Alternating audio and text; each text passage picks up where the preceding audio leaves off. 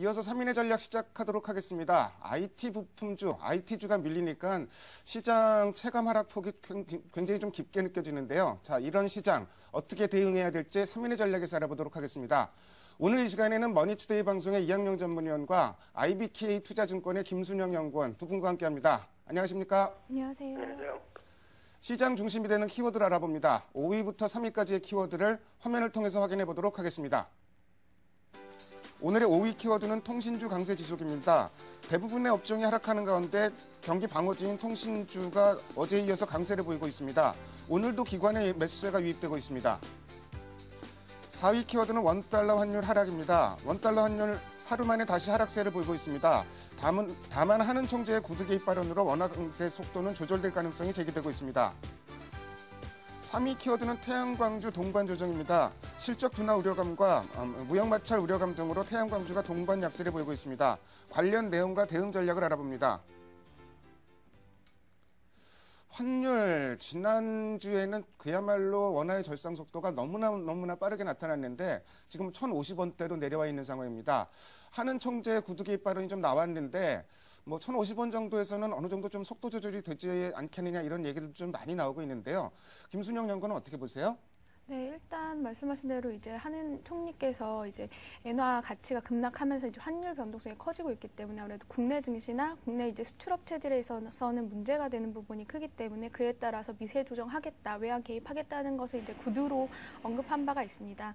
이에 따라서 아무래도 환물이 환 그 워낙 강세 정도가 이제 완화가 된다면 아무래도 수출주들한테는 호재로 좀 작용할 가능성이 높습니다. 일단은 뭐 워낙 강세로 최근에 이제 업종별로 수익 수익률 상대 성과가 좀 엇갈리는 양상을 보였는데요. 자동차나 철강 등은 좀 다소 부진한 모습을 보였습니다. 이러한 부분들이 뭐 가격 경쟁력이나 채산성 이런 부분들이 문제가 됐기 때문인데요. 어, 앞서 말씀드린 것처럼 한은에서 이제 어, 통화에 대해서 방어적인 태도를 이제 실제로 액션을 취하게 된다면 아무래도 이런 업종들은 조금 어, 그동안 부진했던 것을 좀 털고 올라갈 수 있는 분위기가 되지 않을까 보고 있습니다. 게다가 이제 한은에서 이제 1월에 금통위에서 이제 아무래도 통화 가계 부채 문제도 이제 거론이 됐지만 환율 부분 방어 부분을 위해서 이제 금리 인하를 하지 않겠느냐 했었는데 이 부분도 이루어지지 않았었기 때문에 환율 개입은 조금 필요한 시점이라고 보여지고요. 만약에 환율 개입이 되지 않는다고 해도 실제로 글로벌 금융 시장을 감안했을 때에는 원화의 이제 강세는 좀 완만해질 개연성이 좀 높은 국면이라고 보고 있습니다. 그 이유는 일단 엔화가 가치가 아무래도 원화 대비 이제 크게 약세가 빠르게 진행이 됐었는데 이렇게 되면 미국 입장에서도 이제 좋지 않은 그림이 그려지게 됩니다. 왜냐하면 미국이 이제 엔화 가치 약세로 인해서 엔화의 약세로 인해서 결국 미국 일본의 수출주들이 조금 어, 수출이 많아지면 결국 미국의 무역 수지가 악화될 수 있는 개연성이 있기 때문에 어, 이런 흐름은 어느 정도 완화될 시기가 이제 도래해 오고 있다라고 보시면 될 것 같고요. 그 시기는 이제 조금 더 뭐 지켜봐야 할 상황이긴 하지만 이런 워낙 강세 속도가 완만해지고 엔화 약세가 어느 정도 어, 주춤해진 시점에서는 그동안 부진했던 뭐 자동차나 부품 그 외에 철강 등의 업종에 대해서 조금씩 이제 어, 투자할 만한 그런 전략이 어, 가능해 보입니다.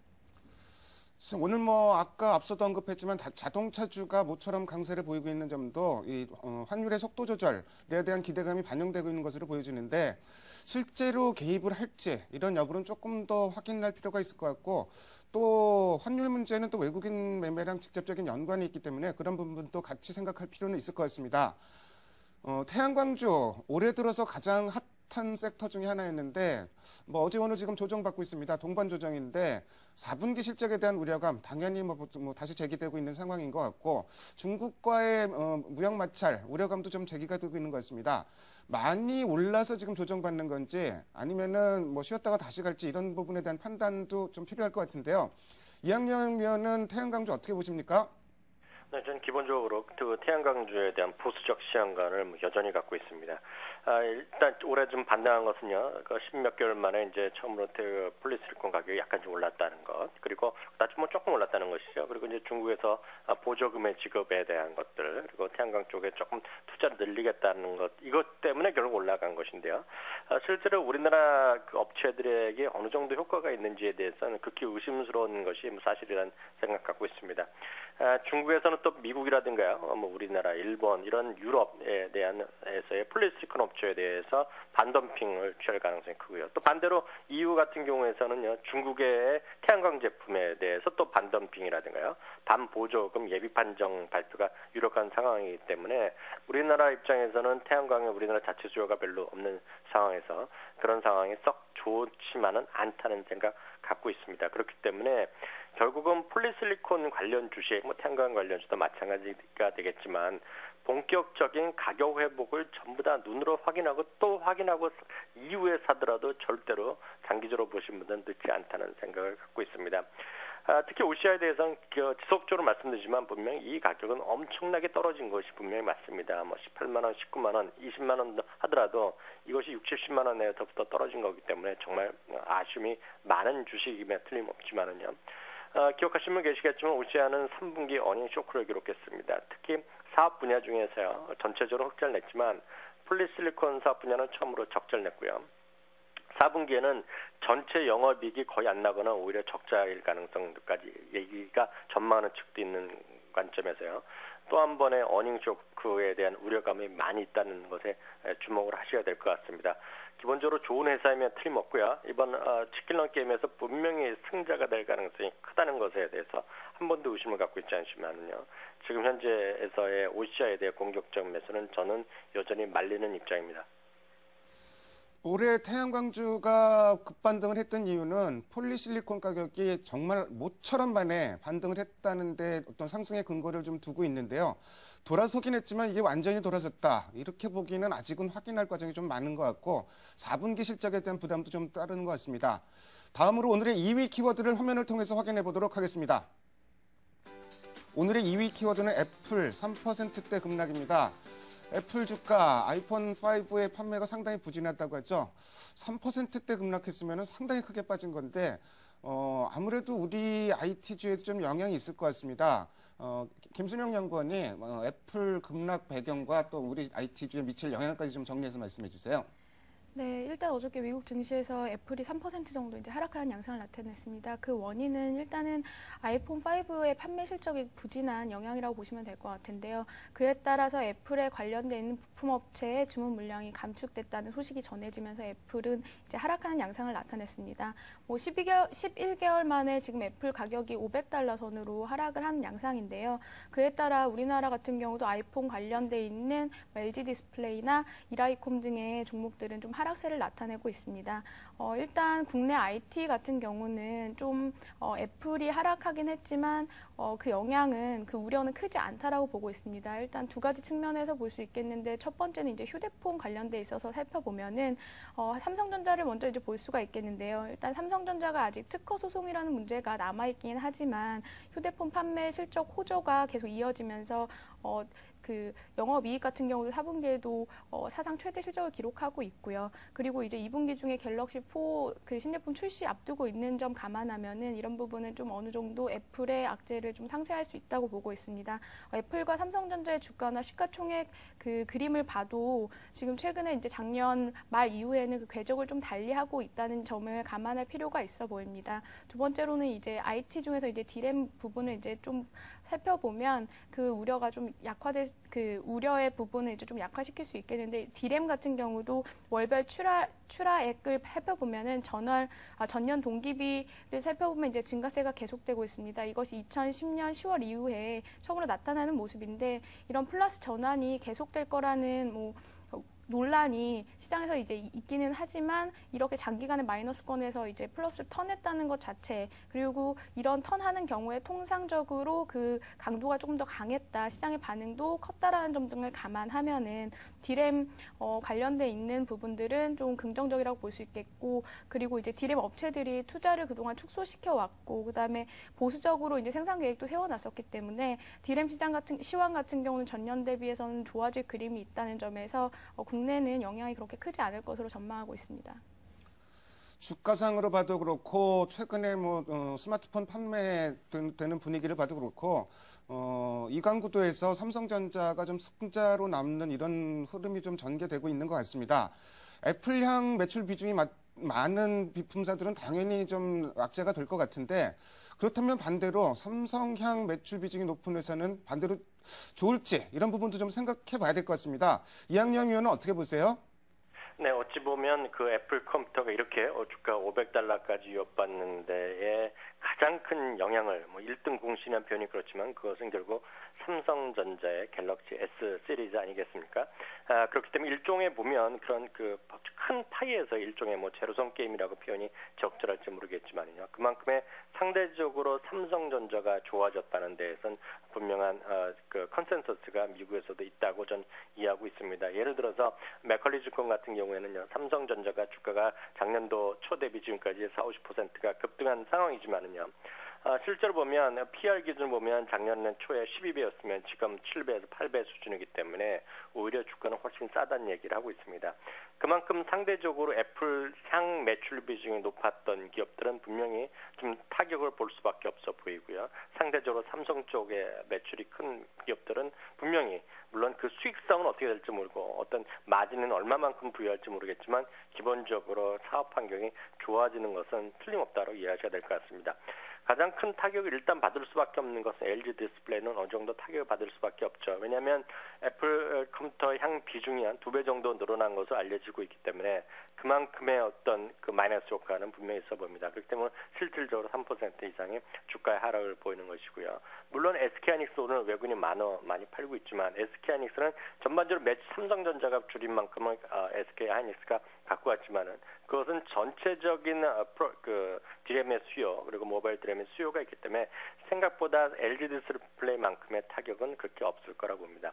또한 좀 작은 기업으로 보면 상대적으로 누차 말씀드렸던 인터플렉스 같은 경우는 물론 삼성이나 애플 다 거래를 하지만 애플 쪽 때문에 주가가 많이 올랐던 것이 사실이기 때문에 기본적으로 그만큼에 대한 마이너스 어떤 모멘텀은 분명히 있다고 봅니다. 결국 이들 기업 특히 LG 디스플레이나 인터플렉스 같은 경우에는요. 그 외기업도 많이 있겠지만 기본적으로 애플 컴퓨터의 주가의 방향성과 일치하는 궤적을 보일 가능성이 큽니다. 최소한 기울기 자체는요. 상대적으로 삼성전자 쪽은 앞서 말씀드렸다시피요. 그 수익이 영업이익이 그만큼 따라 올라가는 것은 다른 얘기겠지만 일단 매출이 어느 정도 늘어나는 것은 아, 분명한 아, 플러스 효과가 있어 보입니다. 그 기업들이 워낙 많지만은요. 예를 들어서 요즘 얘기 많이 나오는 파트론이라든가 옵트론텍 같은 경우에는 워낙 그 분기 실적이 사상 최고치를 이어가고 있다는 측면에서 본다 그러면 기본적으로 오늘은 전체적으로 다 재미없고 아이트 주식에서 상관없이 다 그 상관없 그 주가가 크게 오르는 주식이 별로 없지만은요. 삼성전자의 비중이 높 은 기업 쪽에 지금 플러스를 어, 어떤 주는 것은 분명히 타당하면서도 합리적인 판단이라는 생각 갖고 있습니다. IT 부품주 어제 오늘 대부분 동반 약세를 보이고 있는데 이런 분위기일수록 오히려 뭐 좋은 종목들 상승 가능성이 높은 종목들을 좀 어, 뽑아내는 이런 역살 역 어, 발상적인 투자 전략도 좀 필요할 것 같습니다. 다음으로 오늘의 1위 키워드를 화면을 통해서 확인해 보도록 하겠습니다. 오늘의 1위 키워드는 외국인 매도 2,000포인트 선 하회입니다. 오늘 장세 하락의 주범은 외국인 매도 그리고 프로그램 매도 있을 것 같습니다. 외국인 매도 규모 굉장히 좀 오늘 확대되고 있는 모습인 것 같은데 어, 이왕용 의원이 관련 내용 좀 말씀해 주시고 대응 전략도 같이 좀 세워 주십시오. 네, 그 뱅가드 펀드의 실제 매물화가 뭐 내일부터다 아니면 저 어제부터 나왔다면 얘기는 많지만 결국은 이거 아니겠습니까? 뱅가드 펀드의 실제 매물 중에요. 약40% 정도가 전기 자동차, 즉 전차 군단이 집중돼 있는 것은 분명한 사실입니다. 그건 뭐 통계적으로 나오는 거니까요. 다만 이제 자동차는 최근에 선조정되었다는 아, 분명히 나름대로는 어떤 의미가 있어 보입니다. 삼성전자는 상대적으로 강세를 유지하고 있다는 것에 대한 부담감이 분명히 있을 수밖에 없고요. 그런 관점에서 국내 기관 투자가들이 제 입장에서 본다 그러면 제 판단하기에는 손침에 나선 것, 것에 반대되는 거죠. 미리 좀 먼저 좀 찾는 그런 성격도 분명히 있다고 봅니다. 실제 수급으로 보면 은요, 오늘 같은 경우에 삼성전자의 주가 약세의 실제 주인공은 물론 국내 기관도 있겠지만 또 하나 보면 전체 오늘 거래량 16만 주 중에 한 3분의 1 정도는 거의 프로그램 매도 물량입니다. 물론 거기는 비차익도 있지만 차익 매도 물량도 상당 부분 차지하는 것으로 추정되기 때문에 실제로 삼성전자보다는요, 앞서도 얘기했다시피 LG 디스플레이라든가요, SK하이닉스의 매도에 대한 외국인의 매매가 큰 폭으로 늘어나고 있다는 것 자체가 앞서 말씀드렸던 움직임과 전혀 무관하다고 볼 수는 없다라는 생각을 갖고 있습니다. 그런 관점에서 오늘 상대적으로 IT 주식이 더 약한 그리고 외국인 매물이 지금 그들 두 주식으로 나오는 것에 대해서는 충분히 우리가 설득력 있는 얘기라고 보고 있습니다. 다음은 이제 저 장세에 대한 대응 전략이 되겠는데요. 기본적으로 외국인의 시황과 종목 추천, 종목에 대한 추정 매매 전략을 그대로 따라하는 것이 여전히 매우 훌륭하면서도요 합리적인 판단이라는 생각 갖고 있습니다. 아, 중국 시장 또 한 가지 측면에서 본다 그러면 중국 시장이 견조한 상황에서 어저께 급반등했고요. 오늘도 또 다시 아, 우상 조금씩이라도 올라가고 있는 상황에서 상대적으로 지금 오히려 우리나라 주식은 그 우리 경기 방어주기라든가요 내수주 같은 것들이 상대적으로 강해 왔고요. 그리고 뭐 철강이라든가 화학이나 이런 것들 즉 경기 민감 대형주가 오늘은 나름대로 반등을 시도하는 것도 있지만 화학주 중에서 그동안은 오히려 많이 조정을 받았다는 얘기죠. 그런 거 보면 실제로 중국의 어떤 주가의 상승과 우리나라의 그 관련 주식은 서로 엇박자가 나는 그런 관점이 있기 때문에 예를 들어서 이런 것들은 그런 경기 민감 대형주는요 지금 당장이라고보다는요 오히려 실망스러운 실적이 모두 나올 겁니다. 이름이 바뀐 롯데캐피탈, 뭐 LG 전부 다 마찬가지일 텐데요. 뭐 철강전 말할 것도 없고요. 이런 실망스러운 실적을 발표하는 시점이 오히려 좀 매수 기회로 보고 오히려 역발상적인 생각으로 지금 대응하시면 좋을 것 같고요. 어, 저는 소형주라든가 내수, 뭐 경기 방어주의 비중을 무리하게 늘리는 것은 제가 봤을 때 물론 방어적인 성격으로 갈 수도 있겠지만 기본적으로 그런 주식들은 뭐 20에서 만에 40% 정도로 제한하는 것이 맞다고 보고 있습니다. 지선 1970선에 대한 믿음은 여전합니다. 참 2000선 안착하기 참 어려운 것 같은데 IT주 조정폭이 깊어지니까 일단 뭐 체감적으로 지수가 좀 많이 빠지는 것 같은데요. 김순영 연구원은 지지선 어느 정도 보시는지 좀 말씀해 주시고요. 그리고 또 한 가지 이전에는 그 유가증권 시장 코스피가 빠지더라도 코스닥은 상당히 선전을 했었는데 오늘은 분위기가 좀 바뀌는 것 같아요. 대응 전략 좀 세워주십시오. 네, 일단 코스피 어, 저항선 같은 경우는 대략 한 1940에서 1950 정도로 보고 있습니다. 그 이유는 첫 번째는 이제 수급적인 요인인데 일단 어, 11월 말 중순부터 코스피가 이제 상승하기 시작했는데 이 상승 흐름에는 결국 유럽과 뭐 중국 미국, 일본을 비롯한 글로벌 주요국들의 어떤 유동성에 뒷받침돼 있는 그런 어, relief rally였다는 것, 수급에 이끈 유동성 rally였다는 점, 이런 점들을 감안하면은 60일 수급성 기준으로 어, 1940에서 50선 정도 볼 수 있겠고요. valuation 측면에서도 지금 현재 코스피 12개월 예상 PER이 대략 8.9배 정도고 PBR 기준으로도 1.16배 정도인데 어, 11월 정도 수준으로 감안했을 때에도 지금 현재 뭐 8. 코스피 PER 같은 아, PER 같은 경우는 한 8.6배 정도 수준까지 떨어질 수 있다고 감안하고 어, PBR 역시 1.13배, 14배 정도로 감안했을 때 그 정도 1차 지지는 가능할 것으로 예상하고 있습니다. 일단 대응 전략, 아, 코스, 코스닥 같은 경우는 일단 코스피가 그동안 이제 아무래도 상승 모멘텀이 조금 약화된 가운데 거래량도 적어서 시장의 에너지가 좀 부족했다는 점에서 오히려 이제 내국인 수요가 좀 많았던 코스닥 시장이 상대적으로 선전했던 모습을 나타내고 있는데요. 어, 나타냈었는데 이제 오늘은 조금 주춤한 모습이긴 합니다만 어쨌든 아무래도 상대적인 강세는 1월 효과 등을 감안했을 때도 조금 있다고는 보고 있습니다. 어, 다만 이제 업종별 정, 전략으로 봤을 때는 일단 지금 뭐 매크로 지표가 상승하고는 있지만 미국도 마찬가지고 유로존도 조금 어느 정도 하방을 안정하는 모습을 나타내면서 매크로 지표 뭐 긍정적인 관점을 유지하고 있지만 그 강도에 있어서는 다소 완화되고 있는데 그걸 이제 어, 미국 아, global surprise index 상황 보면은 그 체감 속도가 이제 반락하고 있다는 점을 좀 확인할 수 있고요. 그렇기 때문에 일단 경기 민, 민감주에 대해서는 일단 매수 추경 매수는 조금 우려되는 부분입니다. 하지만 앞서 말씀하셨지만 어, 중국 이제 춘절 앞두고 있는 점이 점이라는 좀 감안하면은 선별 경기 민감주 중에서도 이제 선별적으로 중국 관련돼 있는 부분은 좀 긍정적으로 어, 보고 있고요. 그 외에 이제 잠시 이제 내수주에 대해서 는 관심을 조금 가져볼 만한 시점이라고는 보고 있습니다. 오늘 코스피가 지금 현재 지수로 마감이 되면 올해 들어서 처음으로 21선을 밑돌게 됩니다. 어, 다음 60일 이동 평균선은 1950선 정도인데요. 뭐 참고하시면 좋을 것 같습니다. 지금까지 다섯 가지의 키워드를 통해서 오늘 시장의 흐름을 살펴봤습니다. 두 분 말씀 잘 들었습니다. 감사합니다. 감사합니다. 감사합니다.